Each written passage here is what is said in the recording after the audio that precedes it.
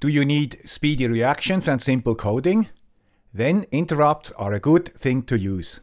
And because interrupts have things in common with deep sleep, we will also dig into that topic. And we will find some secrets of the ESP32. For sure, we will look under its hood. Maybe you find a hint to improve or simplify your project, or you find out why it does not perform as you want.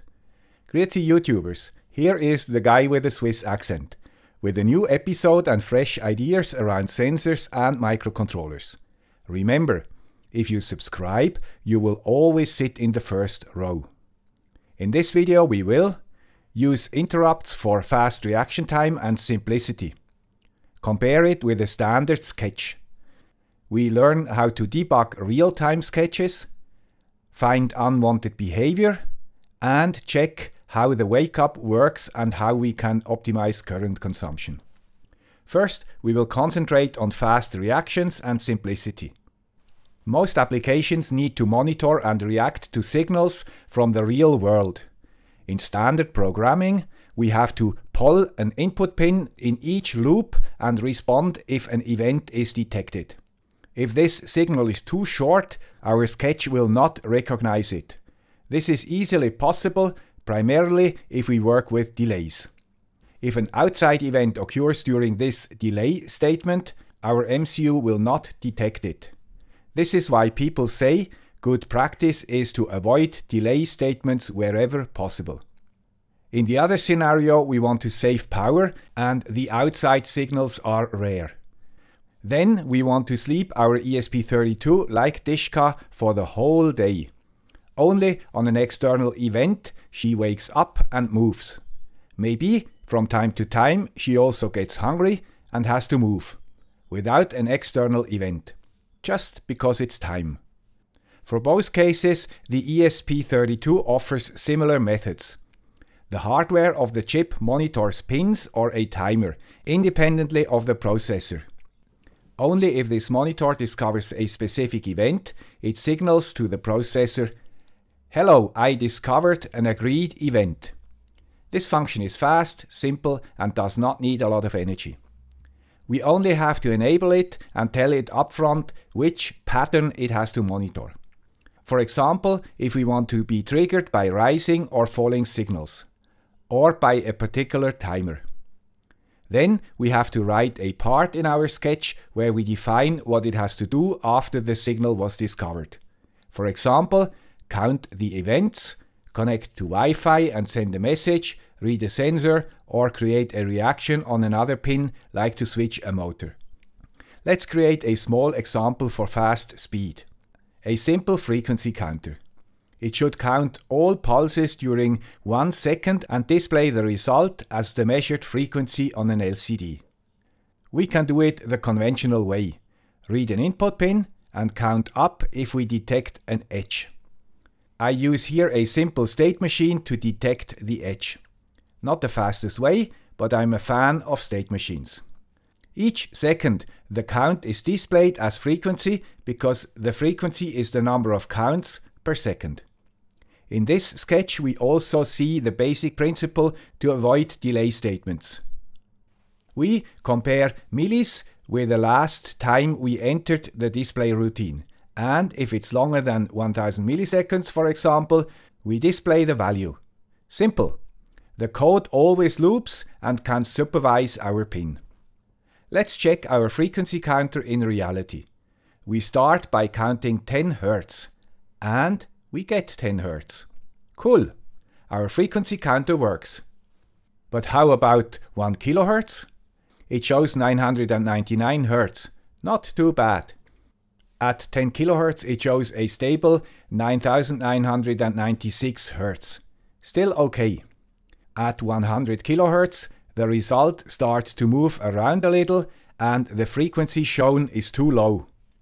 The error is already considerable. At 200 kHz and 300 kHz the error is bigger but it still counts.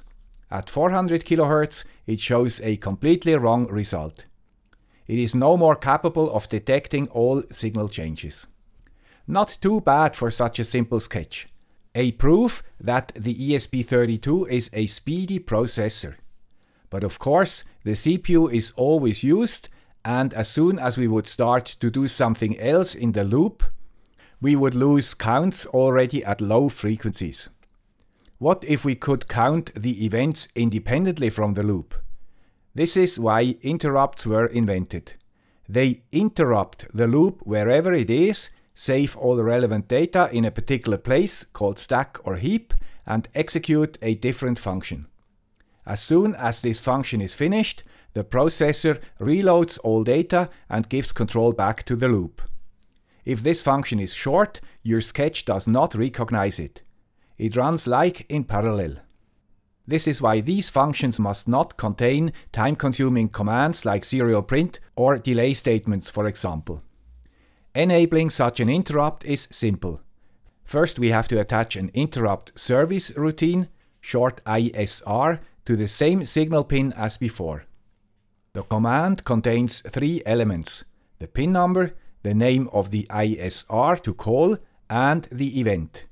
We can trigger on rising or falling edges. After that command, the ISR is called every time the pin goes high. Automatically. Let's look at the ISR itself. It consists of only one command. Count plus plus. Each time it is called, the counter is counted one up. Simple, because the rest is done in hardware. There are a few tricks with interrupts. You do not need to understand the details. First, we have to write volatile before all variables used in ISRs. And second, we have to insert this line before setup and these two lines as the first and the last statements in the ISR. Done. They make sure that nothing bad happens. Our loop is much simpler now. Just display every 1000 milliseconds the count and reset it and it works more precisely than before. It still fluctuates at higher frequencies and stops working at around 200 kHz, lower than before. Very strange. There is an easy way to discover what happens. We add these two commands in the ISR to toggle a pin and attach channel 2 of the oscilloscope to this pin. On channel 1 we connect the input signal. This is, by the way, the method of choice to debug fast real-time systems. Toggle pins at various points in your code and watch them with your oscilloscope or your logic analyzer. At 1 kHz, our counter shows the exact value. If we look at the oscilloscope, we see the input signal in yellow and the short peaks in green. If we store the signal, we see that the time from the input signal to the reaction of the ISR, called latency of the interrupt, is a little above 3 microseconds. Quite slow for a CPU with a 240 MHz clock rate. According to Ivan from Espressif, this is due to the architecture of the chip. If we look at the signals in real time, we see something strange. The latency is not stable. Not good for real-time systems where we have to count on a stable and short latency. If we go up with the frequency, the period of the input signal gets shorter and shorter, and the spike gets closer and closer to the next edge. And because the latency is variable, it sometimes is even longer than the signal period, which means that we lose one count. This behavior starts already before 200 kHz. If we increase the frequency even more, the ESP crashes. This is probably because a next interrupt is generated while the ISR is running. Many processors allow disabling interrupts during an ISR. Unfortunately, I did not find this feature for the ESP32. Maybe you know how it can be done. With disabling interrupts during the ISR, it would only show us the wrong results. So the verdict is clear. The ESP32 cannot be used for fast, real-time applications. But we were able to create a simple frequency counter. You can imagine that such functionality can be used for many other scenarios like measuring speeds of a motor, measuring wind speeds, etc. Another advantage of interrupts is that we can add more to the loop without disturbing our frequency counting. For example, I can add a second counter on line 3. It counts up without disturbing our frequency counter. It looks like both counters work independently and in parallel. But the ESP32 can do more. We could add a timer interrupt to our frequency counter to make things even simpler and more accurate. For that we add a second ISR, just as before. It has only two lines. Because we will run this ISR every second, we just store the frequency value and set the counter to zero, just as we did before in the loop. To make it work, we have to add three similar lines as before. Just copy them and you are okay. In addition, we have to enable the timer interrupt with these four lines. Here you define a prescale factor and here the divider. It is simple. The initial frequency is 80 MHz. We divide it by 80 and afterward by 1 million and we get 1 second. Just change these numbers if you need a different time. That's it. The ESP32 will now monitor the input pin, count up when an edge is detected, and every second stores the frequency value. Our loop is now straightforward. Display and delay. You see right, we can use delay without any problem now. The timing is done under the hood. The top frequency, unfortunately, is not higher because our counting is still the same. One word of caution if you use Wi-Fi. Your interrupt timing can be influenced by the Wi-Fi functionality. This is why I switched it off for these experiments. You see, with interrupts we can react quite fast to events and also in the background. But the ESP32 has to be always on and therefore consumes power all the time. We have a second similar possibility, deep sleep and wake up. Also here, hardware outside the processor monitors pins or timers and reacts when a predefined event takes place. But the processor does not execute other stuff in loop. It sleeps the whole time and only wakes up after an event occurred. As before, we can use external and timed wake-ups. And you can not only use standard pins, you can also use touch sensors, etc. Let us now build a counter for people. To save energy, we only want to send a message every 10 persons. For that, we need a counter which does not lose its value during sleep. And after the counter reaches 10, we trigger a function that sends a message. After deep sleep, the sketch always starts in setup and never reaches loop, because we send it to sleep at the end of setup. So the setup part is comparable with the ISR from before. Let's try it out. I use the function generator to simulate a steady flow of people by sending short impulses to pin 5. And we use the code from the ESP32 examples. The loop is empty and the last line in setup is ESP deep sleep start. After that statement, the ESP will sleep well as long as you want until the next person comes and has to be counted. Right after the event, the ESP32 starts to run the same way as after a power-up. First, it initializes serial and prints the wake-up reason. Then it increases the count and goes to sleep again. By the way, I had to declare the variable count with a preceding RTC data attribute to make sure it is stored in RTC memory. This memory survives deep sleep, but not power down. I also added a statement to set pin 17 to high for debugging. I do not set it to low because this is automatically done when the CPU goes for a nap. Like that, we can monitor how long the CPU works. I also added a check for the wake up reason to make sure the counter only counts the events produced by our people counter. After 10 people, it calls send message. For this video, I just update the display, but we could start Wi-Fi and send an MQTT message to a broker. The backlight of the display goes off and on for a moment when a new count is written to the display, as a proof. If we want to optimize the power consumption, we have to reduce the time the CPU is on. So we take out all not needed statements.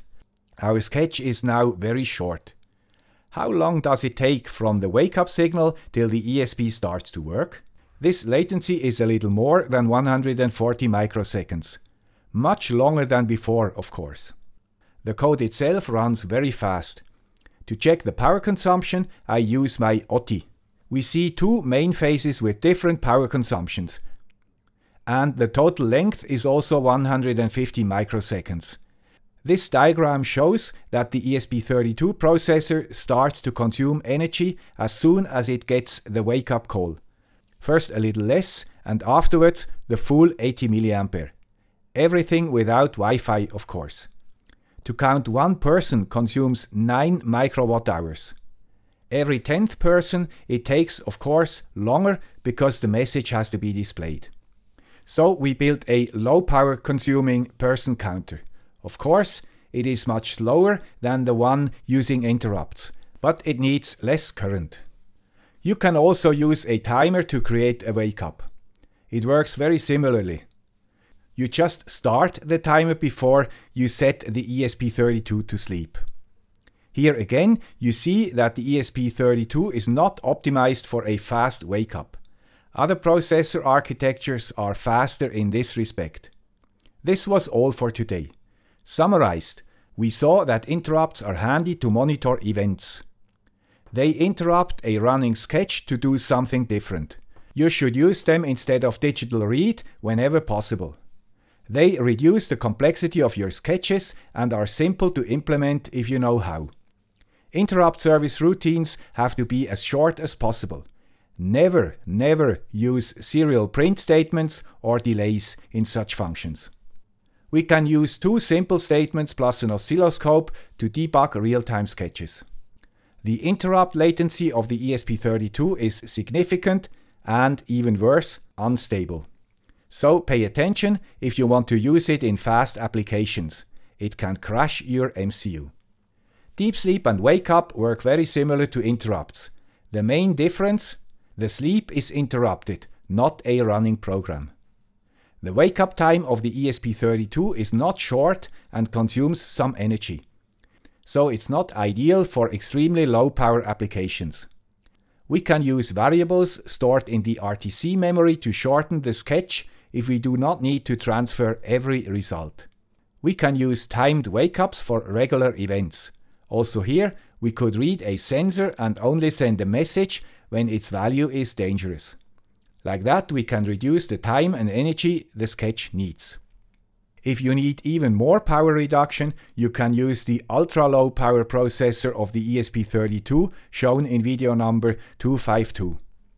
And there is a third possibility between the two using so-called stubs. Unfortunately, I did not find information on how to use it in the Arduino IDE. These long latencies may be related to the fact that the ESP32 uses an RTOS operating system, but I'm not sure. As always, you find all relevant links in the description. I hope this video was useful or at least interesting for you. If true, please consider supporting the channel to secure its future existence. Thank you. Bye.